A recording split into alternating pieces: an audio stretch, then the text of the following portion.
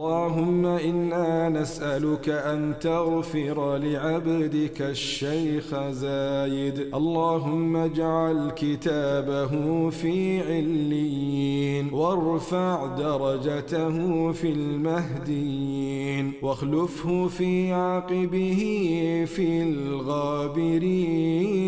وارحمنا اللهم إذا صرنا إلى ما صار إليه يا رب العالمين. إلهنا لا نزكي عليك أحدا لكننا نحسبه ممن آمن بك وعمل صالحا. فاجعله ممن لهم جزاء الضعف بما عملوا وهم في الغرفات آمنون يا رب العالمين